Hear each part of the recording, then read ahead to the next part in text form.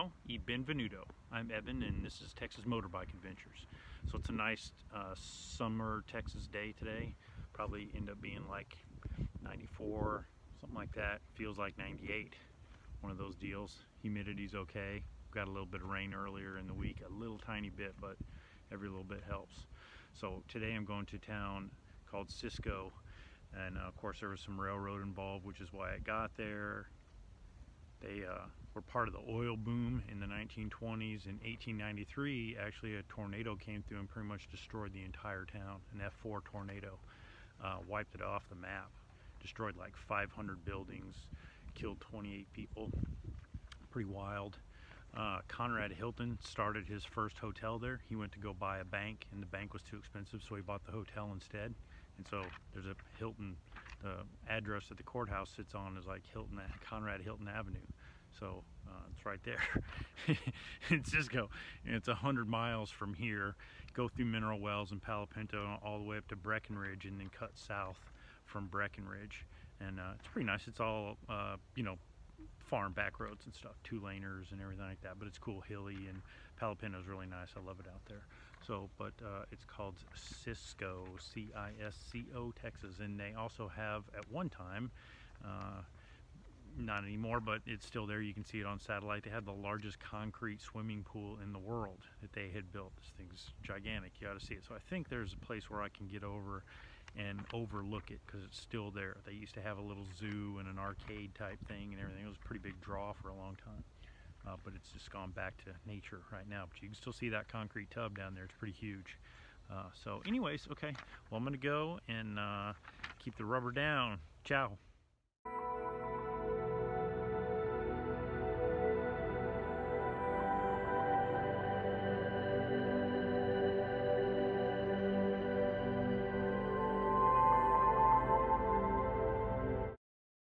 Cisco, Texas is at the intersection of U.S. Highway 183 and Interstate 20 in northwestern Eastland County.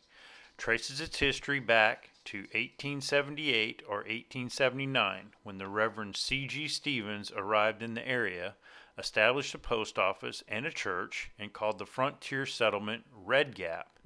About six families were already living nearby and W.T. Caldwell was running a store a half mile to the west. In 1881, the Houston and Texas Central Railway crossed the Texas and Pacific, which had come through the year before, at a point near Red Gap, and the settlement's inhabitants moved their town to the crossing. The date the rails crossed, May 17, 1881, is recognized by some to be Cisco's birthday. Three years later, the town was officially recognized and a new post office granted. The town's name was changed to Cisco for John A. Cisco, a New York financier, largely responsible for the building of the Houston and Texas Central. Railroads continued to influence the development of Cisco as the Texas and Pacific acquired lots in the town and sold them to immigrants attracted by brochures touting the town as the Gate City of the West. Once settlers arrived, agricultural agents employed by the railroad advised them what and when to plant and on occasion provided the seeds. During the 1880s, a Mrs. Hawes built and managed the first hotel, and Mrs. J.D. Alexander brought the first millinery and fancy goods to town.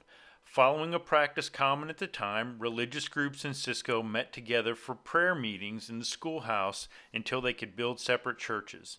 By 1892, Cisco was a growing community with two newspapers, a bank, and an economy based on trade, ranching, fruit farming, and limestone, coal, and iron ore available nearby. A broom factory and roller corn and flour mills were among the town's 56 businesses. At 8 p.m. on Friday, April 28, 1893, an F4 tornado struck the center of the business district of Cisco, killing 28 people and destroying or severely damaging every building in town. The city hall, every church and school, and an estimated 500 homes were destroyed. Conrad Hilton started the Hilton hotel chain with the single hotel bought in Cisco.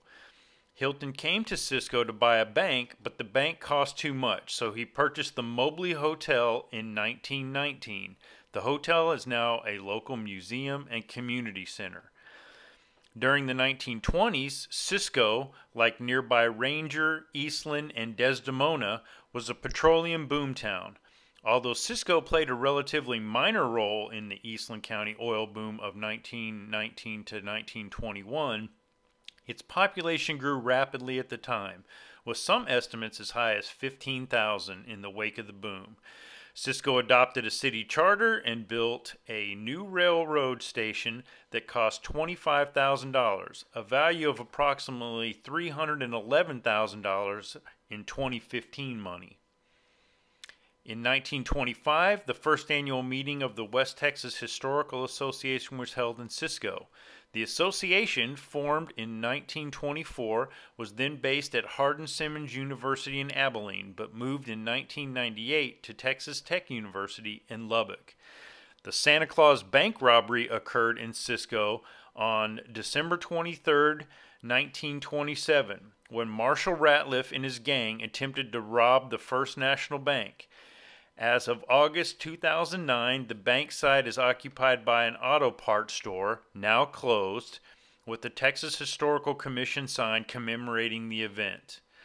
On May 9, 2015, an area just south of the city was hit by a large tornado, destroying several homes, killing one person, and critically injuring one more. Okay, so this behind me is the Mobley Hotel, and this is the uh, hotel that Conrad Hilton bought. He came here to buy a bank. The bank was too expensive, so he bought this building behind us instead, the Mobley. And this became the first in the chain of the Hilton uh, hotels. And you know how that ended up. But uh, this is it right here. Cisco Chamber of Commerce is here, and this is, uh, you know, probably just different kinds of things. They got veterans parking and a couple things like that over here. So uh, this is Cisco. Not a whole lot going on. It's a little small Texas town, but anyways, this is the uh, Mobley Hotel, first hotel bought by Conrad Hilton, right?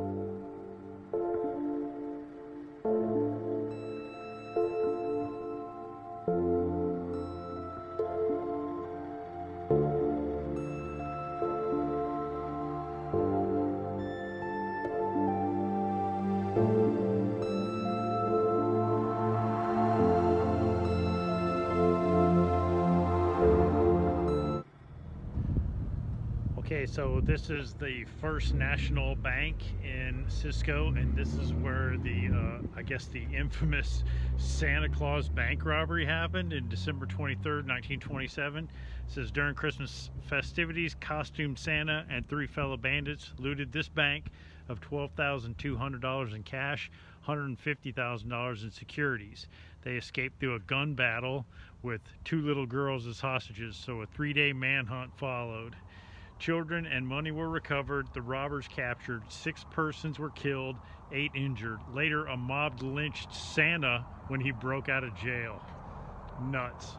So this is the building right here, and it's like it turned into an auto parts store for a while, but it's a historical uh, spot, I guess. We're crazy. Got a little thing there, but there's nothing going on inside. They used to do what it looks like as a uh, bank robbery like productions. So they would do uh, a show here and do the bank robbery thing.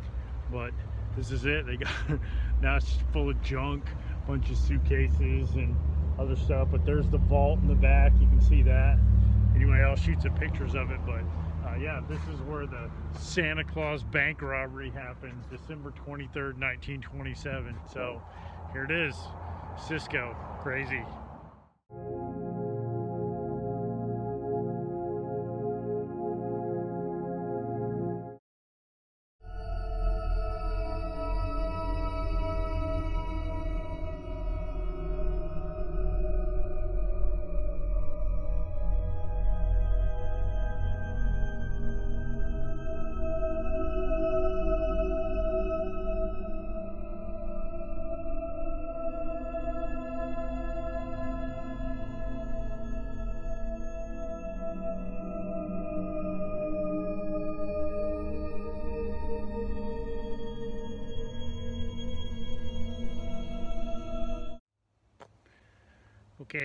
Found it. It's the, at the time, world's largest concrete pool. So you see over there, all of the side of it and everything. See that?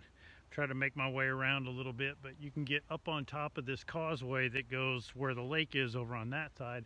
And I think you can see it better, but if you look over there, there's like swing set, some kind of something hanging out over there, if y'all can see it.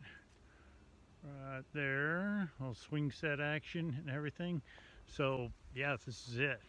The largest concrete pool in the world at one time. Crazy. Okay, I'm gonna see if I can get a better view.